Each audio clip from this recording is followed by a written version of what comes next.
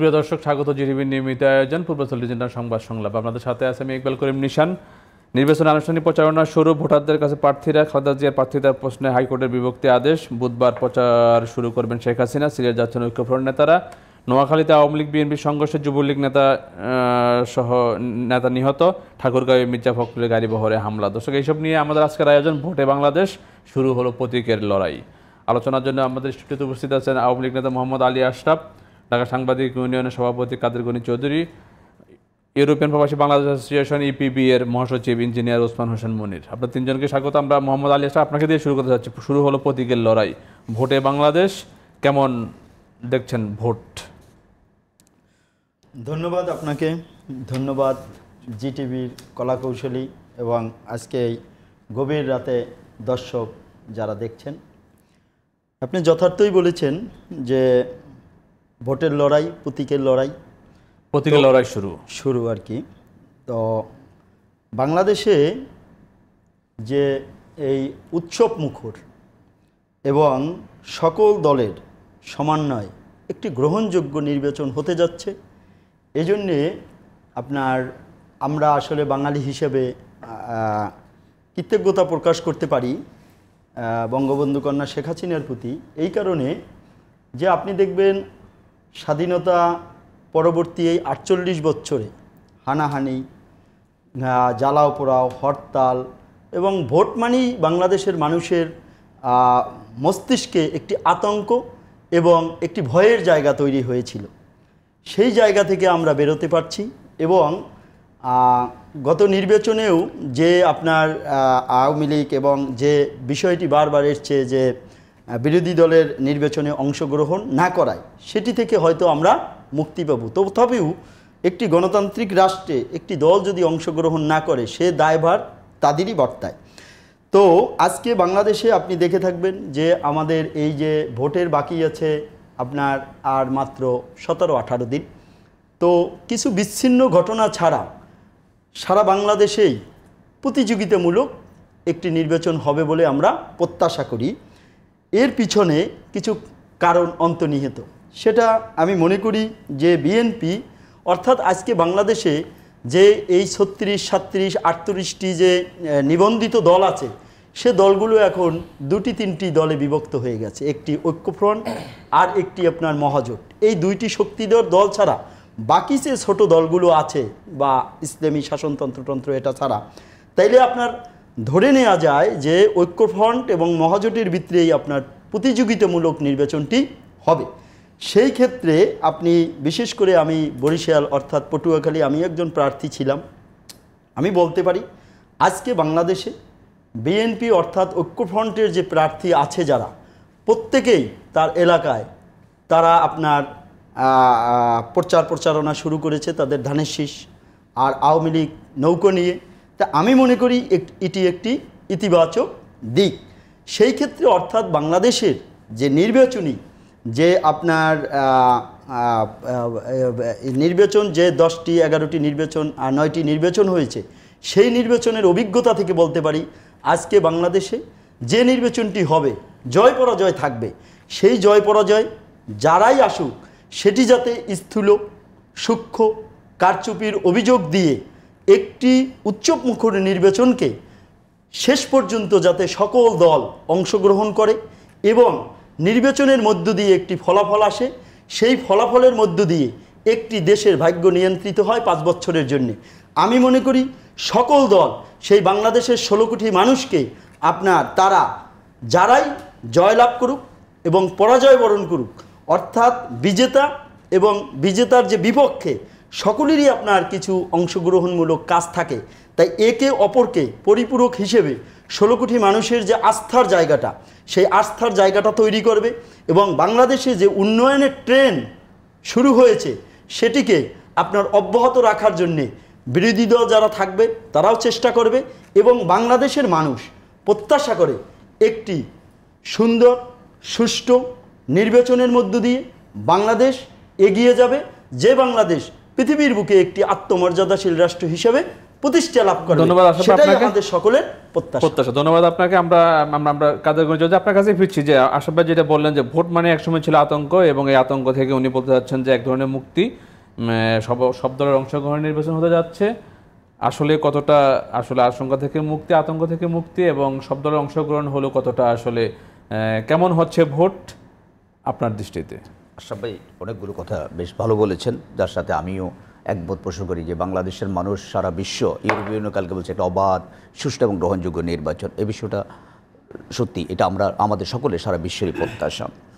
আতঙ্ক কেটে গেছে, ভয় থেকে বের হতে পেরেছি। এটা পুরোপুরি আমি এখনও এটা আমার কাছে সমর্থনযোগ্য নেই কারণেই আমি যেটা বলছি, গতকাল থেকে মাত্র প্রচারণা শুরু। গতকালে কিন্তু বেশ কিছু কিছু ঘটনা ঘটে গেছে। আমার নির্বাচনী আসন যেটা ফটিকশুরি আপনি দেখেছেন, সেখানে কালকে আওয়ামী লীগের মহাজোটের প্রার্থী প্লাস আওয়ামী লীগের বিদ্রোহী প্রার্থীর মধ্যে অনেকগুলো সংঘর্ষে বেশ কিছু দেখেন আছে পত্রপত্রিকা এসেছে টিভিতে অনেক রক্তাক্ত আহত আছে আপনি গতকালকে আসলাম চৌধুরী বিএনপির প্রার্থী, তার বাড়িতে মিটিং বসছিল, সেখানে ঘেরাও করে অনেক লোককে গ্রেপ্তার করে নিয়ে গেছে। কালকে নাজিমুদ্দিন আলমের বাড়িতে ব্যাপক হামলা হয়েছে। এরকম প্রায় কালকে সতেরো আঠারোটা ঘটনা গতকালকে ঘটেছে। মেজর রক্তপাতের ঘটনা কিন্তু গতকাল ঘটেনি এটা ঠিক বলছেন সব ভাই। আজকে কিন্তু বেশ কিছু ঘটনা ঘটে গেছে। আজকে কিন্তু সংঘর্ষে যুবলীগ নেতা নিহত হলো। নোয়াখালীতে যুবলীগ নেতা নিহত হয়েছেন আবার নোয়াখালী মধুদ আহমেদের দফায় দফায় মধুদ আহমেদের পথসভায় হামলা হয়েছে রক্তাক্ত হয়েছেন গুলি বর্ষিত হয়েছে। আবার আপনার রাতে গুলশানে ডাক্তার ফরাদ হালিম ডোনারের বাসায় আন্দার ব্রাউন পার্থ ঐক্য ফ্রন্টের প্রার্থী। তার ওখানে হানা দিয়ে পুলিশ সাত আটটা মাইক্রোবাসে গিয়ে সেখান থেকে কয়েকজন ধরে নিয়ে চলে গিয়েছে। আজকে আবার আপনি যদি দেখেন বগুড়ায় যুবদলের একজন নেতার বাসা একদম পুরো আগুন দিয়ে পুড়িয়ে দেওয়া হয়েছে। ময়মনসিংহে বিএনপির মিছিল আমাদের বিএনপি মহাসচিবের গাড়িবাউর হামলা হয়েছে। নড়াইলে ঐক্য জোটের প্রার্থী তার তার কর্মী সবাই হামলা হয়েছে। আচ্ছা। হয়েছে আওয়ামী লীগেরও একজন মারা গিয়েছে। দিক থেকে হচ্ছে সংঘর্ষ আর একমুখী হয় না কোনো দিক বেশি। আর যেটা হচ্ছে সবাই যে ভাই যেটা বলছিলেন সবাই কিন্তু প্রচারণা ঠিকমতো চালাতে পারছেন আজকে মেজর হাফিজ সাহেব ছয়বারের এমপি উনি আজকে ইলেকশন কমিশনে গিয়ে গনুবে একটা ফোন আছে ফোনটা নিয়ে আবার আপনার কাছে ফিরছি। হ্যালো হ্যালো হ্যালো আসসালামু আলাইকুম। ওয়ালাইকুম সালাম কে বলছিলেন? আপনার নাম এবং পরিচয় বলে প্রশ্ন করুন। জি আমি যশোর থেকে সাইদুর রহমান বলছিলাম। হ্যাঁ বলুন শুনছি আমরা।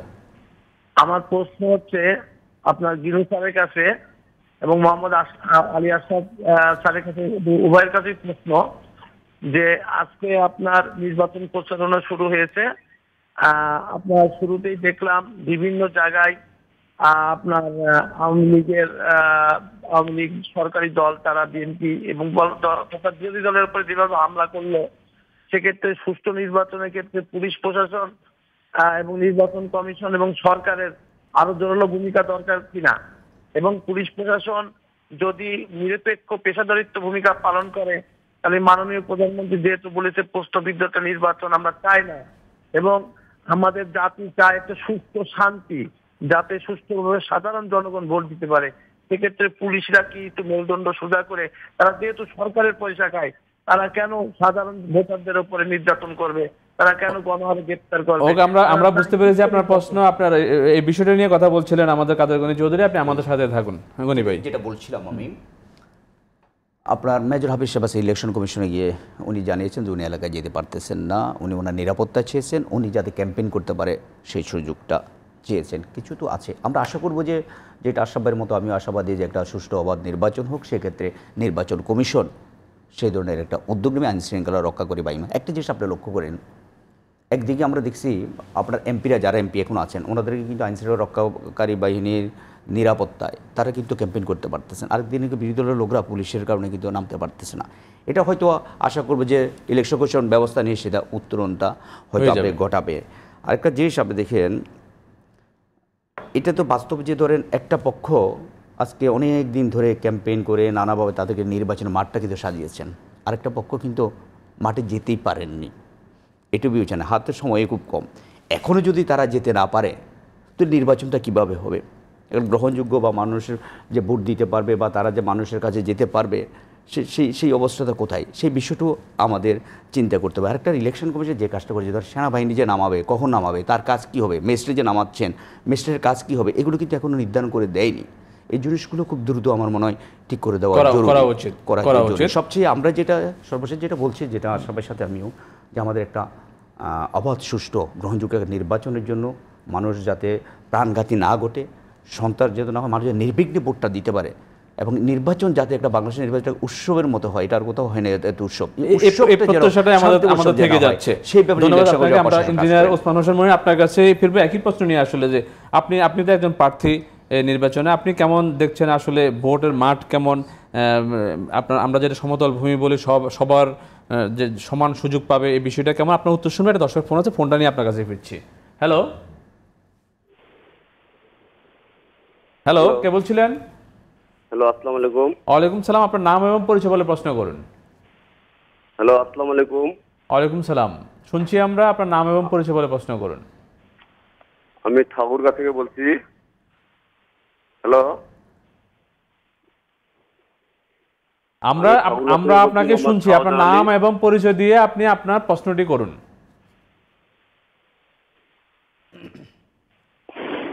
আমি ঠাকুরগা থেকে বলছি মোহাম্মদ শাহজাহান আলী।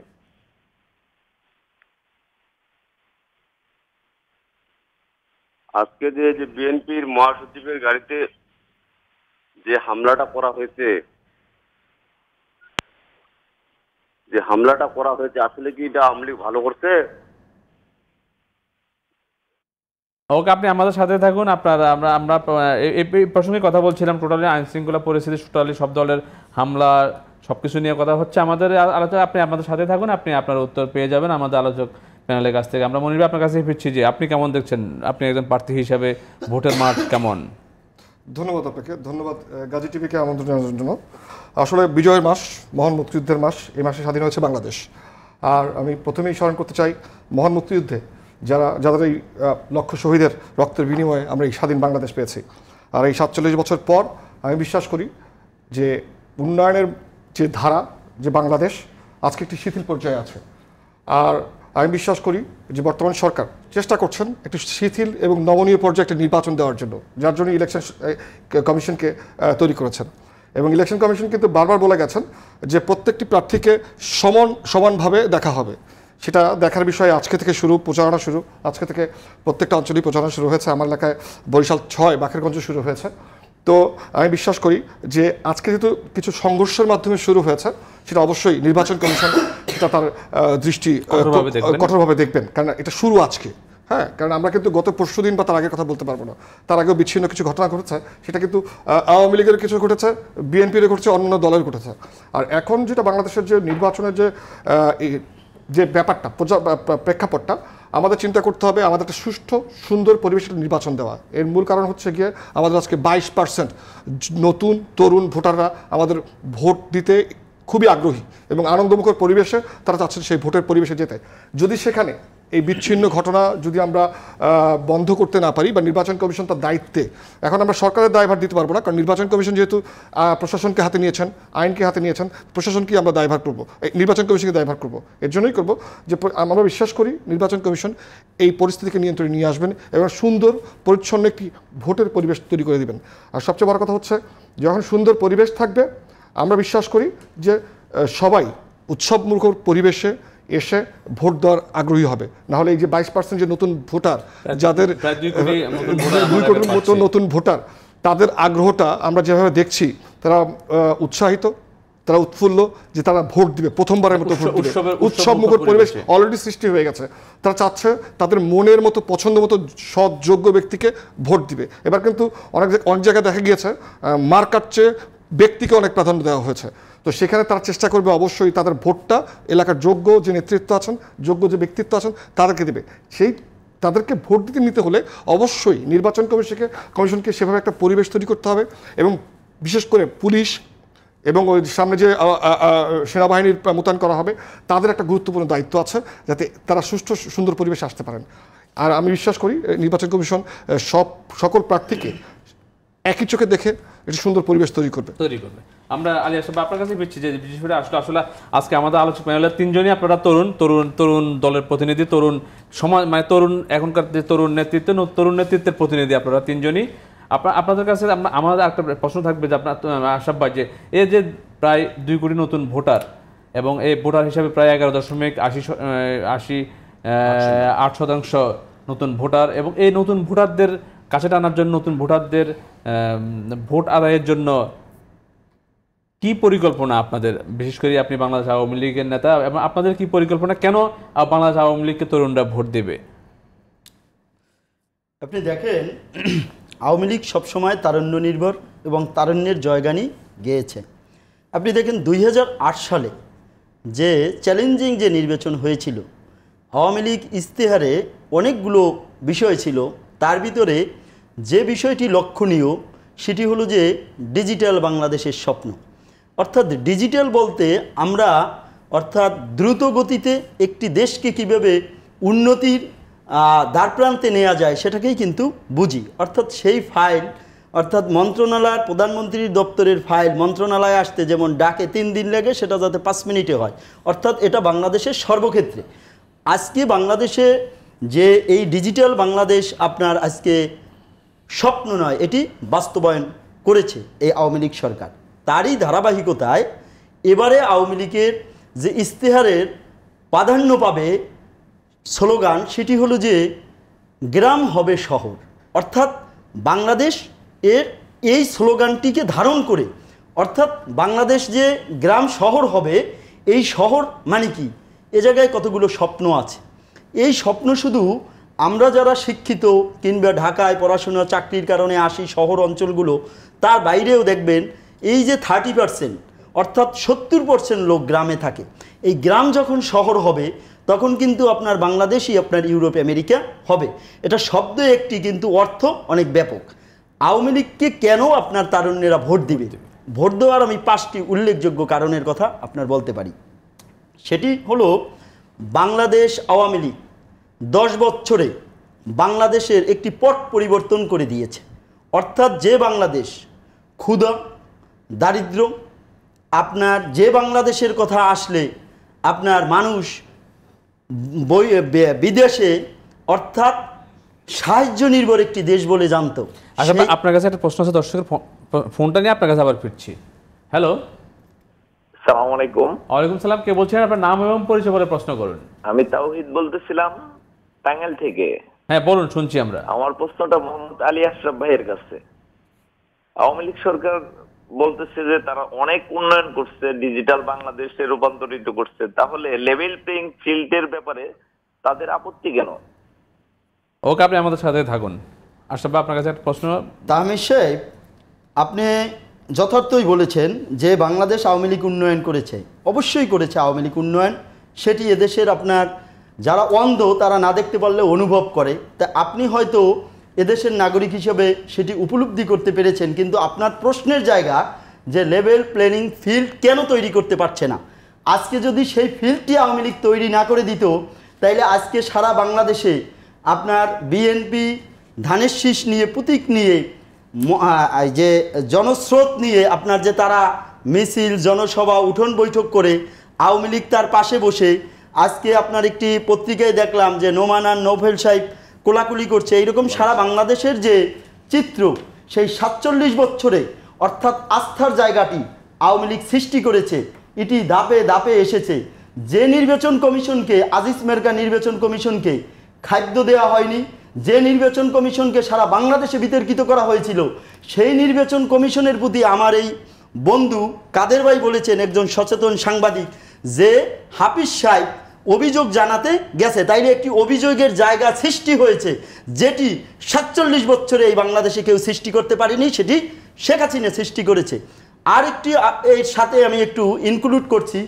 আমি তো মনে করি যে বাংলাদেশে এই, আমার আরেকজন দর্শক বলেছিল যে আওয়ামী লীগ আপনার এই যে পুলিশের যে বিষয়টি তুলে আনছিল, পুলিশ পুলিশের কাজ করবে আর দল দলের কাজ করবে। যদি দুই- দুইটাকে আমরা একত্র করে ফেলি, তাইলে আমরা ভুল করব। পুলিশ যদি অতি উৎসাহী হয়ে কোনো কাজ করে, সে দায়ভার তার নিতে হবে। যদি আওয়ামী লীগ নির্দেশ দেয়, যদি আপনি সেটা আইডেন্টিফাই করতে পারেন, তার দায়ভার আওয়ামী লীগ নিবে। কিন্তু আমি কিছু কিছু ক্ষেত্রে মনে করি যে আওয়ামী লীগ বিএনপির প্রতি বেশি মহানুভবতার পরিচয় দিয়েছে। কেন?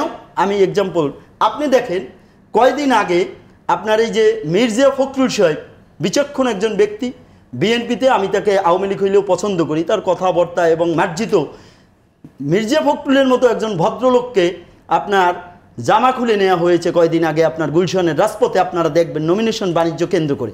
তো আমার প্রশ্ন এই আওয়ামী লীগ সরকারের কাছে যে আওয়ামী লীগ যখন আপনার দুইজন এই সিটি কর্পোরেশনকে ভাগ করে দুইজন মেয়র করা হলো আওয়ামী লীগের উন্নয়নের জন্যে আনিসুলক সাহেব মেয়র হয়ে অনেক ভালো কাজ করেছে। কিন্তু গুলশনে যে আবাসিক এলাকায় আপনার এই যে মানে যে বাণিজ্যিক যে ভবনগুলো ছিল সেগুলোকে উঠিয়ে দিয়েছে। আপনি গুলশন যদি ডিপ্লোমেটিক জোনে যান সে জায়গায় একজন চায়ের দোকানদার কিনবে একটি সিগারেটের দোকানও খুঁজে ভ্রাম্যমান সিগারেটের দোকানও পাবেন না। কিন্তু সেই জায়গাটায় আপনার পাশে দুইটি আপনার এই আপনার দূর্তবাস তার মাঝখানে বিএনপির একটি অফিস যে জায়গায় লক্ষ লক্ষ লোকের জনসমাবেশ সেই জায়গায় আপনার হানাহানি রক্তপাত তাহলে আমি মনে করি আওয়ামী লীগ শুধু দেশের নয় যারা আজকে বলে যে আওয়ামী লীগ সরকার অর্থাৎ বঙ্গবন্ধু কন্যা শেখ হাসিনা মানুষের প্রতি অত্যাচার করেছে আমি এই একটি এক্সাম্পল দেখিয়ে তাদেরকে দেখিয়ে দিলাম যে আওয়ামী লীগ ধন্যবাদ, ধন্যবাদ। 30 মিনিট আমি শেষ আপনার আওয়ামী লীগ সরকার বরঞ্চ বাংলাদেশে যে একটি নিরপেক্ষ নির্বাচন হোক বাংলাদেশ একটি আত্মমর্যাদাশীল রাষ্ট্র হিসেবে পৃথিবীর বুকে প্রতিষ্ঠা পাক বাংলাদেশের মানুষ গ্রাম শহর হোক সেই কাজ করার কারণে এই আঠারো দিনের। আমরা আবার বাংলাদেশে আপনার আপনার বক্তব্য আপনার বক্তব্য আমরা আরও শুনব আরও শুনব আরও আমাদের সময় আছে আরও শুনব। আমরা কাদের যদি আপনার কাছে একই প্রশ্ন থাকল যে আমরা আসলে তরুণরা কেন আপনার আপনি বাংলাদেশ জাতীয়তাবাদী দলের মনোনয়ন প্রত্যাশী ছিলেন? আপনি সাংবাদিক সমাজের নেতৃত্বে আছেন। আপনি আপনার কেন তরুণ নেতৃত্ব জাতীয়তাবাদী শক্তিকে ভোট দিবে? আপনার উত্তর শুনবে একটা বিরতির পরে। ধরে নিচ্ছে একটা বিরতি আমাদের সাথে থাকুন।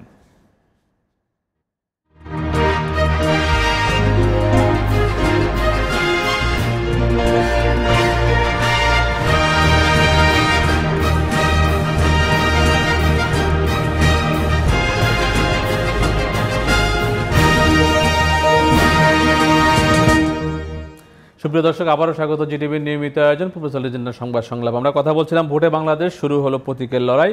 আমাদের আলোচক প্যানেল আছেন বাংলাদেশ আওয়ামী লীগের নেতা মোহাম্মদ আলী আশরাফ, আছেন ঢাকা সাংবাদিক ইউনিয়নের সভাপতি কাদের গনি চৌধুরী, আছেন ইউরোপিয়ান প্রবাসী বাংলাদেশ অ্যাসোসিয়েশন ইপিবি এর মহাসচিব ইঞ্জিনিয়ার ওসমান হোসেন মনির। আমরা কাদের গনি চৌধুরী, আপনার কাছে প্রশ্ন ছিল বিরতির আগে যে, আসলে তরুণ ভোটাররা কেন জাতীয়তাবাদী দল অথবা ধানের শীষকে ভোট দিবে? আমি বলছে বাইর যে একটা ইম্প্রেশন একটু ভুল আছে, ভুল মানে একটু হয়তো সেটা আমিও বুঝেছিলাম। যেটা মহাসচিবের জামাসির বলছে বিনবির গোটা সত্যি না। যে ছবিটা আমিও সোশ্যাল মিডিয়ায় দেখেছিলাম, এটা হলো রাঙ্গুনিয়াতে উনি একবার ত্রাণ দিতে যাচ্ছিলেন যেটা শেষ হবে এখানে এই ধরনের ঘটনা ঘটেছে একটা ঘটনা। উনি যখন গাড়ি নিয়ে বেরোচ্ছে সে গাড়িতে নিয়ে কিছু বিক্ষোভ হয়েছে। বা জামাসিরের ঘটনাটা সত্য নয়। যার কারণে কোনো মিডিয়াতে বাংলাদেশে দেখবেন না না, না, এটা। এসছে না না পুরো social media, social আছে। বাট ঘটনা সত্য না। সোশ্যাল মিডিয়া থেকে আমি এরকমও লেখা হয়েছে যে আমি আমি দায়িত্ব নিয়ে বলছি যে এই ধরনের ঘটনা সেখানে ঘটেছে তো বিক্ষোভ হয়েছে ওনাকে নিয়ে। বিএনপি গেল, বিএনপি এই অফিসে তালা মেরেছে ওখানে ডিল মেরেছে ব্যাংকে এইটি সত্য কথা বিএনপির মহাসচিব গায়ে হাত না, দিচ্ছে আবার যে এটা- এই ছবিটা ছবিটাকে আগে বলতে চাচ্ছেন আগে কোনো এই ধরনের মহাসচিব করলে বাংলাদেশের প্রতিটা পত্রিকায় ছাপা হইতো। একটা জিনিস আপনি খেয়াল করবেন আওয়ামী লীগের হোক আর বিএনপির হোক এবং টান দিয়েছে এই ছবি হলেও ছাপা হইতো। এটা বিশাল ছবি এটা ঠিক না আচ্ছা। যেটা হলো? যে আমিও আমিও দেখে কিন্তু আমিও প্রথমে ইয়ে হয়েছিলাম পরে আমি খুঁজে না দেখলাম ঘটনা সত্যি না একেবারে মোটেও সত্যি না। বাট বিক্ষোভ হয়েছে এটা সত্যি কথা। এটা হলো যে রাঙ্গুনিয়ার ছবিটাই। আর যে বিষয়টা হচ্ছে তরুণরা কেন? তরুণদের যে বিষয়টা তরুণরা নানা কারণে বর্তমান সরকারের উপর একটু ক্ষুব্ধ আছে। একটা ঘটনা যদি আপনি দেখেন কিছুদিন আগে সবচেয়ে বেশি তরুণদের মধ্যে যে জিনিসটা নাড়া দিয়েছে, সেটা হলো যে সড়ক, নিরাপদ সড়ক আন্দোলন যখন তরুণরা ঢাকা, সারা বাংলাদেশের রাস্তায় নামলো, তখন সরকারের কিছু লোক, পুলিশ যেভাবে তাদের উপর নির্বিচারে হামলা করেছে, বিশেষ করে দুই দিন, তিন দিন যাওয়ার পরে বসুন্ধরায় সহ বিভিন্ন ইউনিভার্সিটি বসুন্ধরা আবাসিকের ঢুকে ঢুকে, ঘরে ঘরে ঢুকে ঢুকে মোবাইল চেক করে করে যে ধরনের হেনস্থা করেছে পরিবারকে, ওই ছাত্রকে কোমলবতী ছাত্রদেরকে যেভাবে নিয়ে রিমান্ডে যেভাবে জেলে ঢুকেছে শুধু কি এই ঘটনার জন্য আমি বলছি- আমি বলছি এই এই জিনিসটা একটা বড় ধরনের কিন্তু এদের তরুণ সমাজের মধ্যে একটা নাড়া দিয়েছে। এটা কিন্তু সত্য কথা। আপনি যেটা বলেন হয়তো আমরা এক এক মধ্যে দিয়ে বলব।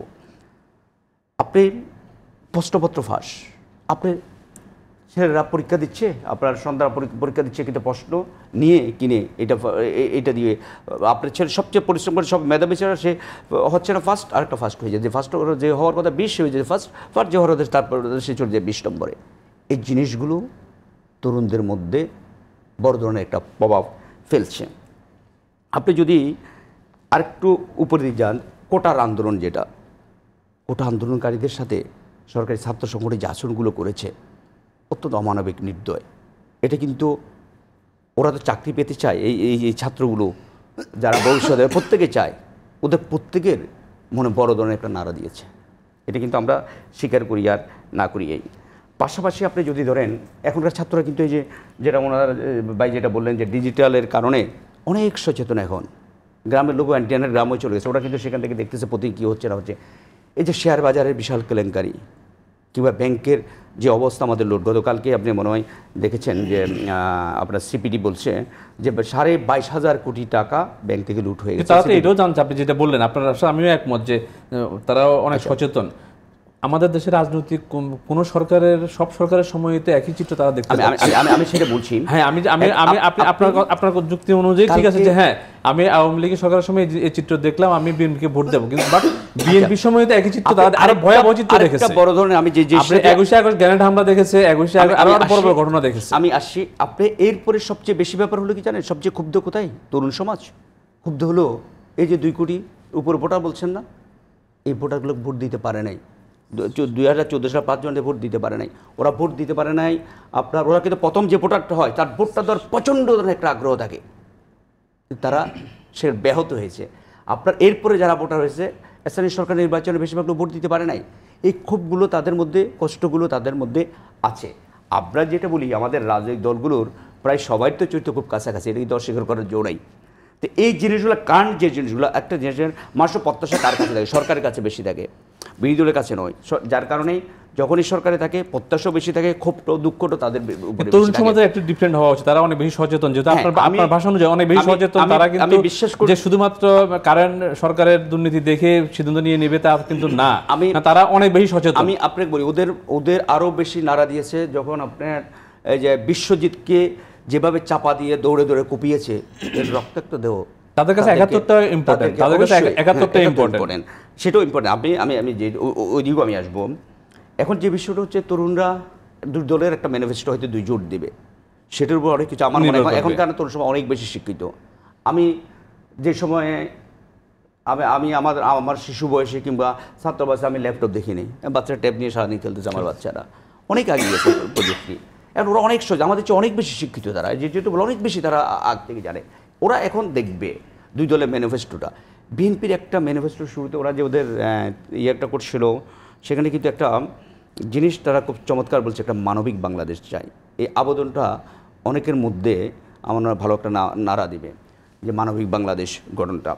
তো সব মিলে যেটা হলো যে বিএনপির যেটি কারণে যাবে যেটি হলো যে তাদের আদর্শিক কারণে যতটুকু না ভোট পাবে পাশাপাশি আওয়ামী লীগ সরকারের ব্যর্থতা এইসব কাজগুলোর ওই- কারণে বেশি ধন্যবাদ আপনাকে একটা দর্শকের ফোন আছে ফোনটা নিয়ে মনে আপনার কাছে ফিরবো। হ্যালো? হ্যালো কে বলছিলেন? হ্যালো আসসালামু আলাইকুম ভাই। ওয়ালাইকুম সালাম কে বলছে? আপনার নাম এবং পরিচয় বলে প্রশ্ন আমার নাম হলো আমার নাম ওয়াহিদ আমি সোনিয়াগড়া থেকে বলছি। হ্যাঁ বলুন আপনি আপনি আপনার প্রশ্ন করুন আমরা শুনছি। আচ্ছা আমার প্রশ্ন হলো যে নির্বাচন কমিশন তো দেখছে।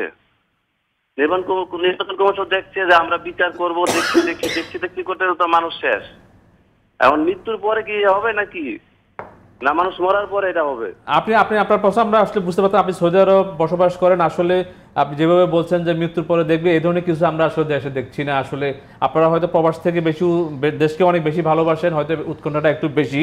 আমরা আশাবাদী আসলে সুন্দর পরিবেশে সমতল নির্বাচন হবে এবং সুন্দর সবার অংশগ্রহণ নির্বাচন হচ্ছে সব দলের মাঠে আছে সব দলের নির্বাচনী প্রচারণা প্রতীক নিয়ে ভোটারদের দ্বারা দ্বারা যাচ্ছেন। মনির আপনার কাছে যে প্রশ্নটা থাকল যে তরুণদের। তরুণদের যে বিষয়টা এবং প্রবাসে প্রবাসে কিন্তু এক ধরনের মানে দেশ নিয়ে বেশি একটু প্রেম দেশ নিয়ে বেশি এক ধরনের গুজবও এ, আমাদের যে দর্শক ফোন করলেন এই দেশের অনেক ফোন- আছে। ফোনটায় আপনি বুঝতে পারলেন হ্যাঁ। অবদান আছে কিন্তু বাট গুজবটা সবচেয়ে বেশি ছড়ায় বেশি সবচেয়ে উৎকণ্ঠায়। পাশাপাশি আপনার কথা যে এই যে তরুণ ভোটাররা কেউ কিন্তু সরাসরি অনেকেই কিন্তু বেশিরভাগই সরাসরি কোনো রাজনীতির সাথে কিন্তু যুক্ত না। তারা কিন্তু প্রার্থী দলের আদর্শ দলের ম্যানিফেস্টো কি হচ্ছে সব দিকে দেখেই রায় দিবেন। আপনি কি মনে করেন যে এই তরুণদের রায় পাওয়ার জন্য কোন বিষয়গুলো সবচেয়ে বেশি প্রভাব ফেলবে এবার। ধন্যবাদ। আসলে এখানে আমরা যেটা করে থাকি মূলত আলোচনা সমালোচনা। আমরা যদি প্রথমেই কোনো সরকারের ভালো দিক না বলে খারাপ দিকটা তুলে ধরি, সেটা শুধু বাংলাদেশ না, আমরা প্রবাসে যে বাংলাদেশিরা থাকেন, তারাও কিন্তু আমাদের মধ্য থেকেই এই নিউজটা বা প্রচারণাটা পায়। আর কিছু অপপ্রচার যেটা বলা হয়, আমাদের কিছু ফেসবুক আছে, যেটা ভালো কাজেও লাগে আবার টুইটার আছে খারাপ কাজেও লাগে।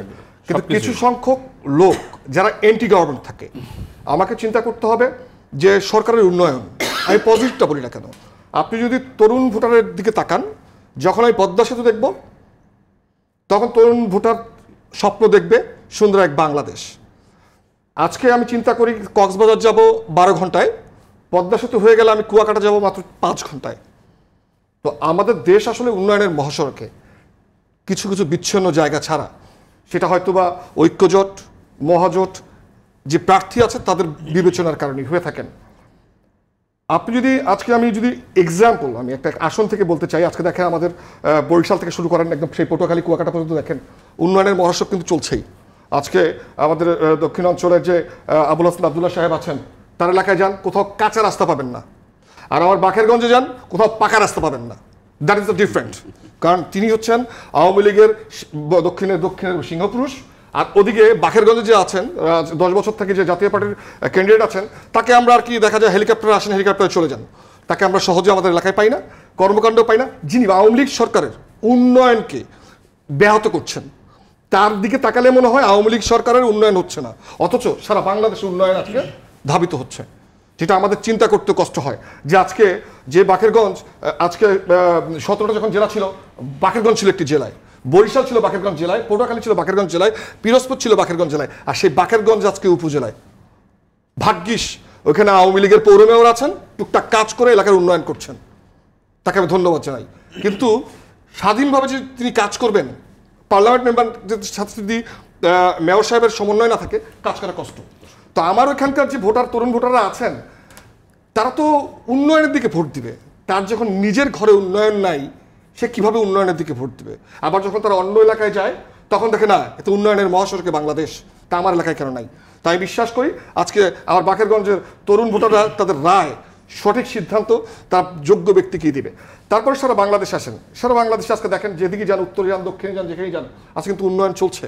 হ্যাঁ সরকারের আসলে আমরা চেষ্টা করি একটু গুণের দিকটা একটু বলার জন্য। আর প্রথমেই চেষ্টা করি বলার জন্য সরকার খারাপটা করছেন বা, বাধাগ্রস্ত করছেন, নির্বাচনকে প্রভাবিত করছেন। আসলে যদি প্রভাবিতই হতো, আজকে সব দল, আমার কাছে মনে হয় স্বাধীনতার পর এত সমষ্টিগতভাবে, এত সুন্দর একটি নির্বাচনের পরিবেশ, আমার জানা মতে আমি আমি- আমার আমার বয়সে আমি দেখছি না।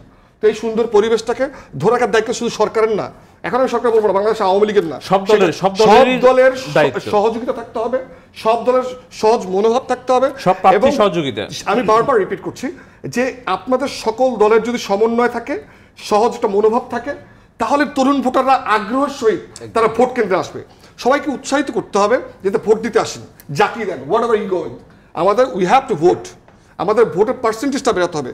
বহির্বিশ্বে আমাদের ভ- এ- এ- উম, গ্রহণযোগ্য একটা নির্বাচন উজ্জ্বল করতে হবে। জাতির মুখকে আজকে আমরা উজ্জ্বল করতে হবে। আজকে দেখেন আমরা যদি রাষ্ট্রের দিকে তাকাই আমরা চেষ্টা করি যে সরকার মনে হয় একই বাংলাদেশ সরকার বাংলাদেশ যদি যদি আওয়ামী লীগ জড়িত কারণ বাংলাদেশ আওয়ামী লীগই সরকার গঠন করেছেন হ্যাঁ, সে একাই সব করে ফেলবে। আসলে ভুল। কোনো রাষ্ট্রের কোনো রাষ্ট্রের পক্ষে সরকারের প্রতি সম্ভব না একা রাষ্ট্রের উন্নয়ন করা। সেখানে জনসাধারণ অন্যান্য দলের সবার। অংশগ্রহণ আজকে যদি আপনি ফ্রান্সের দিকে তাকান কেন তরুণরা তরুণদের ভোট দিবে না? আমি একজন তরুণ প্রার্থী বাকেরগঞ্জ ছয় আসনে বরিশাল ছয় আসনে কেন আমাকে ভোট দিবে না? আজকে ফ্রান্সের যে প্রেসিডেন্ট আছেন উনচল্লিশ বছর বয়স। কানাডার যে প্রধানমন্ত্রী আছেন তেত্রিশ বছর বয়স। আজকে আমাদের টিউলিপ সিদ্দিকির কথা বলেন। তিরিশের নিচে তার বয়স। লন্ডনের পার্লামেন্টের মেম্বার আছেন। তরুণরা তরুণদের কাছে খুব সহজে যে তার বোনের ব্যক্ততা দিতে পারবেন। একজন তরুণ যে একজন তরুণের কথা বলতে পারবেন। আর সেই কথা বলার জন্যই আছে তরুণ প্রার্থী, আমাদের বর্তমান সরকারের প্রধানমন্ত্রী দেখেছি, তরুণদের প্রতি খুব আগ্রহ দেখিয়েছেন। তিনি চেয়েছেন যোগ্য তরুণ নেতৃত্বে আজকে আসুক। কারণ আজকে আমাদের সময় এসেছে, সামনের দিকে এগিয়ে যাওয়ার। আর আমি বিশ্বাস করি, তরুণরা এবার ভোট দিবে, আর সেই ভোটের পরিবেশের দায়িত্ব করে দেওয়ার দায়িত্ব হচ্ছে সরকার না, বর্তমান নির্বাচন কমিশনের। আর আমি বিশ্বাস করি, বর্তমান নির্বাচন কমিশন সবাইকে সঠিকভাবে দেখবে এবং তরুণদের আগ্রহী করবে। ধন্যবাদ আপনাকে চমৎকার বলব আমরা আলিয়া সাহেব আপনার কাছে ফিরছিলাম যে বিষয়টা মনির ভাই কিছুটা বললেন যে আসলে শুধু নির্বাচন কমিশনকে দায়ী দায়ী করলে হবে না আসলে নির্বাচন পরিবেশ নির্বাচনের সমতল ভূমি সবকিছু তৈরি করার জন্য সব দলের অংশগ্রহণ সব দলের ভূমিকাটাও কিন্তু সবচেয়ে ইম্পর্টেন্ট শুধুমাত্র নির্বাচন কমিশন আপনার জবাব শুনবে একটা দর্শকের একটা ফোনটা নিয়ে আসি। হ্যালো জি হ্যাঁ আপনার নাম এবং পরিচয় প্রশ্ন করুন সংক্ষেপে। জি আসসালামু আলাইকুম। আমি মোহাম্মদ আলী হোসেন বলছি চট্টগ্রাম থেকে। হ্যাঁ বলুন শুনছি আমরা। এই যে আমি এখানে সাংবাদিক গনি ভাই আছেন তারপরে আপনার একজন বাংলাদেশের প্রবাসী বাংলাদেশের প্রতিনিধিত্ব করেন ওনারা আছেন এবং একজন আওয়ামী লীগের তিনজনই তরুণ নেতৃত্ব তরুণ প্রতিনিধি। আমার প্রশ্ন হচ্ছে যে সমতল ভূমি বলতে বিএনপি যে বিষয়গুলো বারবার নির্বাচন কমিশনের উপর অভিযোগ দিচ্ছে। আপনি আমি যেখানে বসবাস করি, সেটা সেই জায়গাটা, সেই সমাজটা কতটুকু সমতল থাকে? আর তিনশোটি আসনে যেখানে এক হাজার ছয়শো ছিয়াত্তর জন মেবি ছিয়ানব্বই জন এই আপনার স্বতন্ত্র প্রার্থী ছাড়াও নির্বাচন করতেছে, সেখানে কি পরিমাণ স্বচ্ছতা থাকলে আর সেই এত জন প্রার্থীর ভিতরে সারা বাংলাদেশের দু একটি বিচ্ছিন্ন ঘটনাকে কেন্দ্র করে যে মিথ্যাচারগুলো করছে বিএনপি এটা আদৌ সত্য কিনা? আর আপনাদের হেডলাইনে দেখতে পাচ্ছি সরকার দলীয় যে সরকারের অধীনে নির্বাচন হচ্ছে তাদেরই দুজন একজন যুবলীগ কর্মী একজন আওয়ামী লীগ নেতা দুজনেই নিহত হয়েছে দুজনকেই হত্যা করা হয়েছে। তাহলে ওনাদের যে অভিযোগগুলো ওটা কতটুকু কতটুকু সত্য? আপ- আপ- আপনারা আপনারা বুঝতে পেরেছি আপনার প্রশ্ন আমরা আলী আশরাফ আপনার কাছে উত্তর শুনতে যাচ্ছি আসলে সমতল ভূমির জন্য যে দর্শকের যে বিষয়টা আসলো যে সমতল ভূমি একা নির্বাচন কমিশনে সব দলের সব দলেরই ভূমিকা রাখার প্রয়োজন। পাশাপাশি উনি বলতে চাচ্ছেন যে আমরা আওয়ামী লীগকে দোষারোপ করছি সব কিছু করছি, কিন্তু বাট আওয়ামী লীগের নেতা বা কর্মী যখন নিহত হচ্ছে, তাহলে আমরা কীভাবে বলতে পারি যে সমতল ভূমি নেই বা বিএনপিকে মাঠে থাকতে দেওয়া হচ্ছে না? এই ধরনের হয়তো তার একটা প্রশ্ন রয়ে যাচ্ছে তার। আজকে সংক্ষেপে আপনার দুই মিনিট সময় আছে তিনজন আর দুই মিনিট করে ছ মিনিট সময় পাবেন। আমি সময় কম পেয়েছি দুই মিনিটে শেষ করবেন দুই মিনিটে শেষ নিচ্ছি। যাই হোক আস্থার জায়গাটা এ জায়গায় আজকে দেখেন সে স্বতন্ত্র নির্বাচন করছে সে অত্যন্ত চমৎকারভাবে তরুণরা কি চায় তিনি ব্যাখ্যা করেছেন।